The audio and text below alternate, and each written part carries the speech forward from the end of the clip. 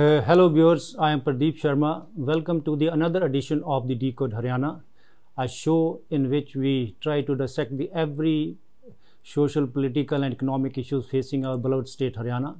Today we have a very special guest with us, Mr. Rajesh Nagar, a two-time MLA for Tegaon in Faridabad, who is a senior BJP leader and Minister for Food, Civil Supplies and Consumer Affairs. Sir Nagar साहब आपका बहुत बहुत स्वागत है Tribune thank you thank you much तो मैं नागर साहब आपसे जानना चाहता था देखो बीजेपी की ने तीसरी बार सरकार बनाई है। ये बड़ा सरप्राइजिंग रहा सब कह रहे थे जी कांग्रेस की वेव है कांग्रेस की सुनामी है पर जब रिज़ल्ट आए तो सारे एकदम भुचक्का रह गए ये कैसे बीजेपी ने कैसे पॉसिबल किया? देखो जो हमने काम किया जो लोगों के बीच में हमने एक डेवलपमेंट करके एक विश्वास जो हमने कायम किया अभी केंद्र में भी हमारी जो सरकार मोदी जी के नेतृत्व में हम्म। आई उसके बाद विधानसभा के चुनावों में जो 10 साल 2014 से पहले की बात करें और 2014 के बाद की बात करें हम जो डेवलपमेंट हुई है हम्म। हम अगर सेंटर की लेवल की बात करें केंद्र की बात करें एयरपोर्ट 2014 से पहले सत्तर बहत्तर एयरपोर्ट हुआ करते थे अब डेढ़ सौ हम्म। के करीब एयरपोर्ट हो गए हैं। चार पाँच एम्स हुआ तो आपका कहने का मतलब जो डबल इंजन की सरकार हाँ, आपकी रही डेवलपमेंट का बहुत बड़ा रोल है आपकी विश्वास जो हमने कायम किया जनता के बीच जाकर इंटरनेशनल लेवल पे और नेशनल लेवल पे हम्म। उसी की वजह से जनता ने तीसरी बार हमारे को केंद्र में भी और प्रदेश में भी रिपीट हाँ। किया। तो आप ये देखो कांग्रेस में देखो कांग्रेस के पहले लोग बहुत ये मान रहे थे भी कांग्रेस की वेव है। बट लास्ट मिनट पे क्या हुआ? कांग्रेस में आखिर में फैक्शन फाइटिंग बहुत ज़्यादा है। शैलजा ने ऑलमोस्ट विड्रॉ ही कर लिया था अपने आप तो आप कांग्रेस की का रोल कैसे देखते हैं अपनी विक्ट्री में? देखो कांग्रेस में जो आपसी फूट हम्म। आपसी खिंचातानी आपसी मतभेद जो है उसकी वजह से उनकी जो हार हुई और एक कोऑर्डिनेशन जो आपस में नहीं है उनका का हम्म। आपस में बड़े नेताओं का तो हम्म। वो भी एक कारण रहा हम्म। फिर आज जो वोटर है कांग्रेस का जो वोटर है वो चिल्लाता है बोलता है। हमारा वोटर साइलेंट है बोलता नहीं है अच्छा ओके तो उस तो, वजह से जो तो ये सारी आ, आपका कहने का मतलब साइलेंट वोटर डिसाइडिंग फैक्टर रहा बिल्कुल हमारा वोटर वोट डाल के आ जाता है हाँ। वो बोलता नहीं है बताता नहीं है। तो बीजेपी के बारे में यही मशहूर है बीजेपी जो पन्ना प्रमुख है कार्य मंडल लेवल पे बूथ लेवल पे काम करती है। कांग्रेस का तो कोई संगठन मेरा ख्याल शायद बना नहीं दस बारह साल तक। देखो भारतीय जनता पार्टी दुनिया की सबसे बड़ी पार्टी है। सबसे बड़ा अगर संगठन किसी का है तो भारतीय जनता पार्टी का हम हर एक बूथ तक हर एक पन्ने तक पन्ना प्रमुख भी हमारा है हमारा पन्ना प्रमुख सम्मेलन भी हमारे हुए। हम एक एक बूथ पे शक्ति केंद्र और हमारा जो ग्राउंड लेवल तक कार्यकर्ता काम करता है जैसे कि अभी दो हज़ार उनतीस के चुनाव होंगे पाँच साल बाद हम्म, हम्म। और हमने आज से ही जब से हम चुनाव जीते हैं उनतीस अच्छा। की तैयारी हमने आज से ही कर दी है। हम्म, उसी तरह से हम आज से ही अपने वर्करों के साथ अपने सदस्यता अभियान अपने जो सदस्य अभियान हमने जो चालू किया है उस उसको लेकर और पन्ना प्रमुख और उसकी सारी हमारी बैठकें चालू हो गई हैं और दो हज़ार उनतीस का चुनाव भी हम आज से ही लेकर चल रहे हैं। तो नागर साहब एक और भी बड़ा कल से विधानसभा सेशन भी शुरू हो रहा है। कांग्रेस ने अभी अपना जो सीएलपी लीडर है कांग्रेस लेडिव पार्टी लीडर वो भी सिलेक्ट नहीं किया जो leader of the opposition Haryana में बनेगा। तो इसके बारे में आप क्या सोचते हैं? देखो जब आप अपने लीडर को ही नहीं चुन सकते हम्म। किसी टीम का अगर कैप्टन ही नहीं है जी तो वो टीम क्या लीड करेगा कौन लीड करेगा कैसे खेलेगी कैसे लड़ेगी हम्म। जिस जहाज़ का अगर पायलट ही नहीं है तो हम्म। जहाज़ तो डूबेगा ही डूबेगा या क्रैश होगा ही होगा अगर। आप बिना पायलट के बिना कैप्टन के। और बिना लीडर के अगर आप आ रहे हैं तो आप कैसे जनता के को फेस करेंगे जनता के बीच में क्या लेकर आप अपने पार्टी का प्रचार पर और वो करेंगे? अपने अंदर ही कोऑर्डिनेशन नहीं है और एक आपसी मतभेद जो आपके अंदर है खिंचातानी जो आपके अंदर है जो आपसी आपसी गुटबाजी और आपसी लड़ाई जो आपके अंदर है तो आप जनता के कि क्या भला कर सकते हैं? तो एक डॉक्टर साहब एक और भी इशू में आपका अटेंशन में आप minister for food civil supplies consumer affairs हैं। तो एक हमने भी आज एक खबर बड़ी प्रोमिनेंटली छापी है। अभी हरियाणा में जो दिसंबर 2022 में एक करोड़ चौबीस लाख के करीब बीएलपी बेनिफिशरी थे। वो ऑलमोस्ट दो साल की अवधि में बढ़कर वो एक करोड़ निन्यानवे लाख के करीब हो गए। ये मतलब पचहत्तर लाख जो बेनिफिशरी बढ़ गए। तो ऑलमोस्ट सत्तर परसेंट जो पॉपुलेशन हरियाणा की वो बीपीएल कैटेगरी में आती है।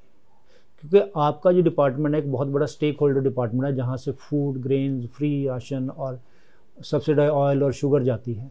तो आप इसके बारे में क्या कहेंगे? मुझे इतना नंबर ये बड़ा है कैसे? देखो 2024 जुलाई को हम्म। हमने सेल्फ डिक्लेरेशन का एक खोली कि भाई कोई अपने कई लोगों को दिक्कत होती थी कि भाई उनकी आय एक लाख अस्सी हज़ार से कम है तो उनको बहुत चक्कर काटने पड़ते थे ऑफ़िस में या अधिकारियों के पास तो हमने उसको दूर करने के लिए कि भाई सेल्फ अगर आप डिक्लेरेशन कर देते खुद भी कि हम्म। भाई हम हमारी आय हमारी इनकम एक लाख अस्सी हज़ार से कम है हम उसको भी क्रेडिट एक एजेंसी के थ्रू आप उसको हम पीपी पीपी परिवार पहचान पत्र के साथ हाँ हाँ जोड़कर हम उसको एक्सेप्ट कर लेंगे। तो ऑटोमेटिकली वो अपने आप ही कोई अगर सेल्फ डिक्लेरेशन करता है तो ये ये जितना डेटा सारा ये सेल्फ डिक्लेयर डेटा है। तो इसमें कोई वेरिफिकेशन अभी नहीं है। अभी तो आ, आपको लगता नहीं भी ये काफ़ी सरप्राइजिंग है? देखो इतना हरियाणा काफ़ी प्रॉस्परस स्टेट है। पर कैपिटल इनकम में भी हरियाणा मेरे ख्याल जो बड़ी स्टेट्स में पहले या दूसरे नंबर पे आता है। तो ये नंबर बड़ा सरप्राइजिंग नहीं पचहत्तर लाख वीएलपी हाँ, बढ़ने वाला है तो इसमें हम इसकी एक मीटिंग करके इसमें एक एजेंसी बैठा कर कि भाई इस पे वेरिफिकेशन होना चाहिए क्योंकि प्रॉपर वेरिफिकेशन ताकि ताकि जो अंत्योदय वाला हाँ, हाँ, भी अंत्योदय वाला जो डिजर्व करता है करता उसको तो मिलना ही मिलना चाहिए। और जो डिजर्व नहीं करता उसको। उसको मिलना भी नहीं चाहिए। हम्म, हाँ जी ये पहले मतलब वेरिफिकेशन अब नहीं हुई पहले हुई थी पहले हुई थी। जैसे ओल्ड एज पेंशन का आपको याद है काफ़ी वीड आउट हुए थे। तो ये हम इसके लिए तो आप किसको मतलब कमेटी कब बनाएँगे किसको? या बिकॉज़ ये मेरे स्क्रिप्ट जो है ये सीएम के पास हाँ, है तो सीएम साहब से बात करके इस पे हम डिस्कस करके हाँ, इसका भी कोई एक वे आउट निकाल कर इस पे हाँ, रास्ता निकालेंगे कि भाई तो, तो दूसरा मैं आपके जो आपका इलाका है तिगांव आप दूसरी बार चुन के आए हैं। ये भी आपकी बड़ी अचीवमेंट है बिकॉज़ अब जितने भी ऑलमोस्ट आठ मिनिस्टर स्पीकर काफ़ी लोग बड़े बड़े पुराने धुरंधर थे जो कैप्टन अमन्यू ओपी धनखड़ बड़े बड़े लोग थे चुनाव हार गए। आप दूसरी बार डिस्पाइट लोग कहते थे एंटी इनकमेंसी बहुत ज़्यादा। आप दूसरी बार चुनाव जीत के आए। इसको आप कैसे देते हैं? बड़े लीडर हार गए। ऑन द अदर हैंड जो न्यू कमर है आपके काफ़ी जीत गए जो फ़र्स्ट टाइमर थे। देखो 2019 में भी अगर हम बात करें हमारी विधानसभा तिगांव हमारी नब्बे विधानसभा है हरियाणा में और सबसे ज़्यादा अगर वोट 2019 में मिली तो तिगांव विधानसभा को मिली। पूरे नब्बे की नब्बे अच्छा ओके। दो हज़ार उन्नीस में। और अभी भी जो 2024 में हम जो पहले हमारा जीत का मार्जिन था उससे भी पाँच हज़ार के करीब चार हज़ार से ज़्यादा वोटों के अंतर से इस बार में खिलाफ सैंतीस हज़ार के करीब जीते थे चार सौ कुछ वोटों हाँ से हाँ जीते पिछली बार तैतीस हज़ार आठ सौ कुछ वोटों से जीते हम्म। तो चार हज़ार से ज़्यादा वोटों से इस बार हमारी हाँ। पहले से जीत का अंतर तो मैं वही जानना चाहता भी डिस्पाइट एंटी इनकम्बेंसी आपने ये मतलब कैसे कि आपके जो मैं इंटरनल पॉलिटिक्स में नहीं जाऊँगा बड़ा कुछ होता है टिकट किसको देनी है नहीं देनी अल्टीमेटली टिकट आपको मिली। तो उस मतलब डिस्पाइट ये सारी चीज़ों के आप एंटी इनकमसी को कैसे तोड़ सके? देखो जो काम किए जनता के बीच जाकर जनता से जो हमारी कनेक्टिविटी रही जनता के बीच हमने कोई हमारे जनता के मिलने की कोई टाइमिंग नहीं है कि भाई हम्म। इतने से इतने टाइम हम मिलेंगे ये दिन से इस दिन हम मिलेंगे मेरे ट्वेंटी फोर इंटू सेवन वो आपकी एक्सेसिबिलिटी तो खैर हाँ। बहुत जो लोगों से फीडबैक तो, हमें तो, मिलता तो, बहुत रही वो, है वो एक कारण रहा कोई अच्छा। भी हमारे पास आया कहीं किसी भी काम के लिए तो उसको वेट नहीं करना पड़ा ये नहीं कि भाई अभी आपको आज नहीं मिलेंगे आज टाइम नहीं है या आज का दिन मिलने का नहीं है तो हम्म। एक जनता का विश्वास जो हमने जीता हम्म। तो वो विश्वास के कारण ही ये हमारी जीत हुई है और जो हमने विकास किए 2014 से बाद जो मैं आपको बता रहा था कि 2014 हम्म। के बाद जो हरियाणा में हमारे तेगांव विधानसभा में जो काम हुए वो हम्म। जब से देश आज़ाद हुआ जब से हरियाणा बना है उसका अगर पीरियड को देखें चौदह से पहले पीरियड हम्म। को और चौदह के बाद का तो वो पीरियड से इस पीरियड में पहले से कई गुना ज़्यादा काम हुए और बड़े बड़े काम जो कभी हुए ही नहीं हम्म। मेरी विधानसभा में वो नए नए काम हमने तो, किए। तो गाँव जहाँ तक मुझे ख्याल है भी एक प्राइमरली रूरल डोमिनेटेड एरिया है। रूरल कॉन्स्टिट्यूंसी बट मेरे ख्याल ग्रेटर फरीदाबाद एरिया में आ गया है। तो जहाँ जब फरीदा ग्रेट उसमें आ जाते हैं बिल्डर आ जाते हैं फिर कंस्ट्रक्शन वगैरह बहुत हो जाती हैं। तो आपके एरिया में कैसे मतलब ये रियल स्टेट का कितना वो है कॉलोनीज का क्या है? बिकॉज़ इलीगल कॉलोनीज का भी सुना है काफ़ी। देखो हमारा तिगांव विधानसभा रूरल भी एरिया है अर्बन भी एरिया है। इसमें सेक्टर्स भी आते हैं। बेसिकली सेमी अर्बन हाँ सेमी अर्बन सेक्टर्स भी हैं इसमें कॉलोनीज भी हैं इसमें गाँव भी हैं। तो ये तीन हिस्सों में तीन पार्ट में बटा हुआ रूरल अर्बन और हमारे ये जो कॉलोनीज वगैरह आती हैं। हम्म। तो इसमें अगर हम बात करें विकास की ग्रेटर फरीदाबाद एक नया टाउन नया सिटी हमारा बन रहा है और बस रहा है। इसका नाम पहले हम इसको नहर पार के नाम से जानते थे। यमुना पार वाला नहीं नहर पार, पार अच्छा में कैनाल आती कैनाल। है आगरा कैनाल आती है तो उसको पहले से उस एरिया को कहते थे नहर पार। तो मैंने विधानसभा में एक क्वेश्चन लगाया था कि जिस तरह से नोएडा का एक्सटेंशन ग्रेटर नोएडा बना और गुड़गावा का मानेसर बना तो इस तरह से हमारा भी एक अलग से नाम एक पहचान हमें दी दी जाए। अगर हम किसी को कहते हैं कि बाहर वाले को नहर पार रहते हैं तो नहर पार का एक आदमी जो एक इमेजिनेशन इमेजिन करता है कि क्या पता नहीं क्या होगा नहर पार कैसा एरिया होगा। तो उसमें मैंने क्वेश्चन लगाया था कि हमें ग्रेटर फरीदाबाद का नाम हमें दिया जाए। तो हमारे माननीय मुख्यमंत्री जब मनोहर लाल जी ने उसको विधानसभा में एक्सेप्ट किया और हमें एक पहचान दी एक नाम दिया ग्रेटर फरीदाबाद का। तो, तो आज हमें ग्रेटर फरीदाबाद कहा जाता तो है उसमें हाई राइज बिल्डिंग्स उसमें नए नया कॉन्सेप्ट जो पहले फरीदाबाद में नहीं था जो बॉम्बे हम्म। में गुड़गांव में था हाई राइज बिल्डिंग्स और जो फ्लोर्स नए सेक्टर्स जो बने हैं। तो वो उस तरह से एक नया सिटी नया टाउन क्योंकि वो नया टाउन बन रहा है उसमें एक्सटेंशन है उसमें प्रोविज़न है।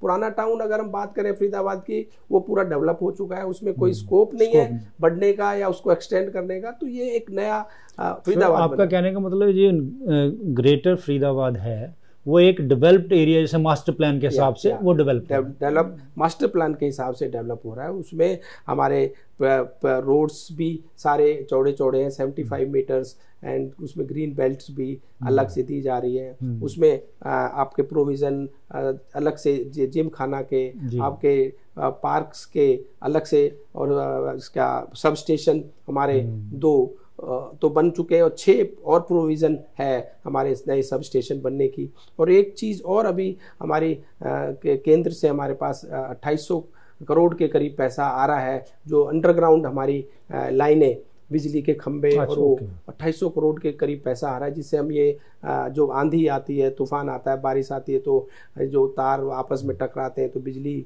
हमें सेफ्टी रीजन से भी हम्म। कट करनी पड़ती है और वो बिजली भी खंभे भी आंधी के उससे गिर जाते हैं या तार आपस में टकराती है पेड़ गिरने से बिजली चली जाती तो उसको अंडरग्राउंड हम लाइनों को करने जा रहे हैं तो 2026 तक हमारा उसका एक टाइम रखा है कि 2026 तक हम सारी खंभे हटाकर अंडरग्राउंड वायरिंग अंडरग्राउंड वायर बिजली के करें। नागर साहब आपके पास ना बहुत इंपॉर्टेंट डिपार्टमेंट है एक फ़ूड सिविल सप्लाईज और कंज्यूमर अफेयर जो ऑलमोस्ट हर एक आदमी को हरियाणा के दो करोड़ अस्सी लाख आदमी हैं हर एक फैमिली को आदमी को अफेक्ट करते हैं।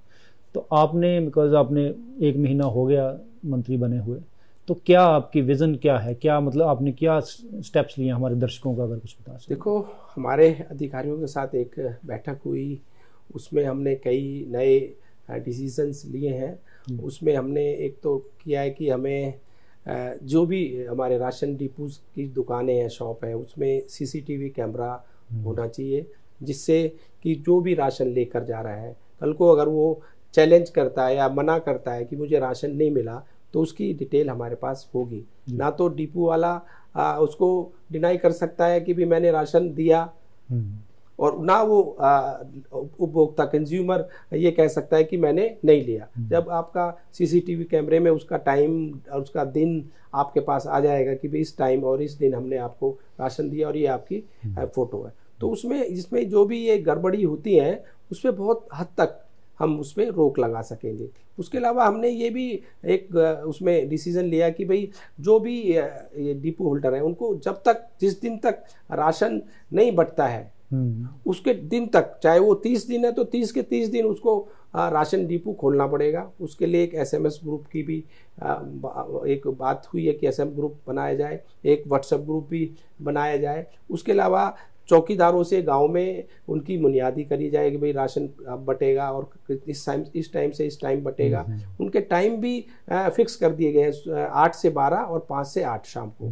जो और इसके अलावा शहरों में कॉलोनीज में गुरुद्वारे और मंदिरों से उनकी अनाउंसमेंट हो कि भाई ये इस टाइम हम चावल दे रहे हैं इस टाइम हम गेहूँ दे रहे हैं इस टाइम हम हम्म। बाजरा दे रहे हैं इस टाइम हम तेल दे रहे हैं इस टाइम हम चीनी दे रहे हैं। जिससे कंज्यूमर को उपभोक्ता को ये पता हो कि भाई ये टाइम हम जाकर अपना राशन ले सकते हैं तो इसमें आपकी डिपार्टमेंट का कोई जो धान की प्रोक्योरमेंट पैडी प्रोक्योरमेंट में भी रोल रहता है जैसे हाँ, आजकल क्या बिल्कुल। क्या मतलब कई जगह से सुनने में ये भी रिपोर्ट्स आ रही हैं देखो हरियाणा में तो फिर भी सिचुएशन काफ़ी अच्छी है पैडी प्रिक्योरमेंट हम्म। पंजाब में कोई ज़्यादा बढ़िया नहीं है हम्म। पंजाब में एजिटेशन करते हैं किसान तो कुछ नमी की मात्रा को लेके काफ़ी होते भी नहीं हरियाणा में ऐसे इश्यूज़ नहीं आए छोटी अच्छा। मोटी कई शिकायतें आई थी अच्छा। वो साथ के साथ उस पर हमने कार्रवाई करके उसको दूर कर दिया था हम्म। और हरियाणा में इस तरह की कोई भी तो आपकी डिपार्टमेंट डायरेक्टली इन्वॉल्व है पैडी प्रिक्योरमेंट में? हाँ बिल्कुल। अच्छा तो उसमें मतलब और कौन कौन सी एजेंसी एफेड हैफेड हैफेड तो एफ़ सी आई होगी एक तो हाँ, आपकी डिपार्टमेंट हैफेड और और एजेंसी हाँ। का का रोल होता है। तो दूसरा आपके आपका जो एरिया है ये मतलब एनसीआर में पड़ता है। बेसिकली गाँव हाँ एनसीआर में पड़ता है। क्योंकि एनसीआर का भी एक प्लानिंग बोर्ड है एनसीआर प्लानिंग बोर्ड है। हम्म। तो उससे भी कोई एनसीआर से भी आपको कोई कोई कोई प्रोजेक्ट्स मिलते हैं। जैसे एक ने आपने बताया भी बड़ा अंडरग्राउंड वायरिंग वाला बड़ा प्रोजेक्ट ये एनसीआर के थ्रू आया कि आपका ये सेंट्रल गवर्नमेंट का पैसा सेंट्रल गवर्नमेंट का पैसा है और एक दो तीन चीज़ें हमारे फरीदाबाद के लिए और मेरी विधानसभा के लिए बहुत अच्छी होने जा रही हैं। ऑलमोस्ट नाइन्टी परसेंट काम हो गया बॉम्बे बड़ौदा एक्सप्रेस वे का। जो अच्छा वो जो डीएम डीएमआईसी था हाँ, दिल्ली तो मुंबई है दिल्ली मुंबई प्रोडक्ट्स उससे अगर हम आ, हमारे विधानसभा के बिल्कुल साथ से ही वो रोड जा रहा है। उस पे जाने के बाद हम आठ से दस घंटे बारह घंटे में बॉम्बे पहुँच सकते हैं। दो घंटे में जयपुर पहुँच सकते हैं। हम्म, हम्म। उससे अगर हम दिल्ली की तरफ़ जाते हैं तो दस से पंद्रह मिनट जो एक डेढ़ घंटे का सफ़र लगता है अच्छा। काले खां सराय बस स्टैंड तक। अच्छा। हम हम उससे दस से पंद्रह मिनट में खाली खां सराय पहुँच जाएँगे। एक टाइम सेविंग भी है सिग्नल फ्री है एलिवेटेड है, उसमें पेट्रोल की भी बचत होगी डीजल की भी बचत होगी, और उसके बाद हम अगर उससे चलेंगे तो के पे भी के जी पी पे भी हम आप पहुँच जाएँगे और उससे हम सोनीपत जाना हो मेरठ जाना हो हरिद्वार जाना हो तो आप समय का बहुत ज़्यादा आने वाले टाइम में सेविंग होगी पेट्रोल डीजल की सेविंग होगी और एक लाइफ। लाइन हमारे फरीदाबाद के लिए और हमारे तिगांव के लिए होगी। एक जेवर एयरपोर्ट भी जो आ रहा है ये भी हमारी फरीदाबाद से जो के टच है। जो यूपी में नोएडा हाँ नोएडा। और मेरे ख्याल वर्ल्ड का थर्ड लार्जेस्ट या सेकेंड लार्जेस्ट एयरपोर्ट बनने जा रहा है और जुलाई पच्चीस से पहले पहले उसमें टेक ऑफ़ और टेक ऑफ़ की अच्छा, फ्लाइंग स्टार्ट हो जाएगी। तो उसमें जितने भी ये डीएमआईसी के आसपास शहर हैं उसमें इंडस्ट्रियल कॉरिडोर ऐसा कुछ कुछ बन रहा है। आपकी विधानसभा में कोई इंडस्ट्री के लिए स्पेशल आईएमटी आईएमटी हमारी उसमें बन रही है। आईएमटी बन भी गई डेवलप हो गई बहुत सारी बड़ी बड़ी अच्छा। कंपनी अमूल कई बड़े ग्रुप्स वहाँ पर आ गए और उसका एक्सटेंशन भी हम आईएमटी का करने जा रहे हैं। हम्म। और K G P K M P भी हमारे विधानसभा के साथ से ही जा रहा है। हम्म। और इसके बाद हमारा एक एक डीपीआर और बना रहे हैं जो के के जे पी नोएडा और फरीदाबाद गाजियाबाद। इसकी एक F N G Faridabad Noida Ghaziabad F N G. उसके लिए भी डीपीआर बन गई है। उसके बनने के बाद ही हम पाँच से दस मिनट में नोएडा पहुँच जाएँगे। और जब ये मझावली पुल हमारा एक दो महीने में जैसे ही चालू होता है तो नोएडा के साथ भी हमारी कनेक्टिविटी बहुत अच्छी हो जाएगी ब्रिज बनने के बाद। अभी यमुना पे ब्रिज नहीं है वो ब्रिज। बनने के बाद हमारी नोएडा से भी कनेक्टिविटी ग्रेटर नोएडा से भी कनेक्टिविटी बहुत अच्छी हो जाएगी। तो आपका बेसिकली कहने का मतलब ये है जो आपकी विधानसभा टिगाँव है वो एक तरह का हब बनने जा रहे हैं क्योंकि आसपास जब कनेक्टिविटी अच्छी हो जाएगी डीएमसी से हो जाए दिल्ली से हो जाए नोएडा से हो जाए फिर मेरा ख्याल जो जो डेवलपमेंट है शायद और बेहतर तरीके से हो सके। देखो जोग्राफिकल अगर हम सिचुएशन या पोजिशन की बात करें फरीदाबाद इस पोजीशन में है कि अगर हम ईस्ट साइड पे चले जाएँ तो नोएडा है। अच्छा। अगर नॉर्थ साइड पे हम चले जाएँ तो दिल्ली है। अगर वेस्ट साइड पे चले जाएँ तो हमारा गुड़गांव है। अच्छा, तो हमारे अच्छा। तीनों तरफ़ है। अगर गुड़गांव वाले को नोएडा जाना है तो उसको बाया दिल्ली या बाया फरीदाबाद जाना पड़ेगा। डायरेक्ट नोएडा नहीं जा सकता। ऐसे ही नोएडा वाले को गुड़गावा जाना है तो उसको एक दूसरी सिटी को क्रॉस करके फिर सिटी तीसरी सिटी में जाना पड़ेगा। हम्म। हम ऐसी जोग्राफिकल सिचुएशन पर हैं हम तीनों सिटी के बराबर हैं। हमको किसी सिटी को क्रॉस करके नहीं जाना पड़ेगा। तो आने वाला टाइम आने वाला फ्यूचर फरीदाबाद का है और आने वाले टाइम में जैसे गुड़गावा पोर्ट डेवलप हो गया है अब फरीदाबाद का टाइम है। फरीदाबाद भी गुड़गावा की तरह और गुड़गावा से ऊपर जल्दी तीन चार साल में पाँच साल में गुड़गावा से ऊपर आने वाला है। तो ये मतलब दिल्ली के आसपास हम एक और गुड़गांव देख नया गुड़गांव। नया गुड़गांव फरीदाबाद को देखने। हाँ। तो आपके कल विधानसभा सेशन भी शुरू हो रहा है आपके डिपार्टमेंट में कुछ मुद्दे होंगे कुछ उस पर कहना चाहेंगे आप कोई कोई बिल आ रहा हो या कोई अभी ऐसा? कोई ऐसा बिल नहीं अच्छा। है अभी क्वेश्चन क्वेश्चन इसमें नहीं है अभी क्वेश्चन अच्छा। आ नहीं है जो सेशन चल रहा है जी तो आगे जैसे भी कोई ऐसे क्वेश्चन आएँगे हम्म। उसके लिए हम तैयारी करके हम उसका हम्म। इसी के साथ ही हम ये बड़ी अच्छी informative interview with that we come to the end of this edition of Decode Haryana. Uh, viewers, thank you very much for watching us. Uh, uh, please do follow us on our social media platforms at The Tribune. Uh, this is our, our flagship publication, The Tribune. Then we have another sister publication, Dainik Tribune, and this is our Punjabi Punjabi Tribune. Uh, thanks for watching. Thank you very much.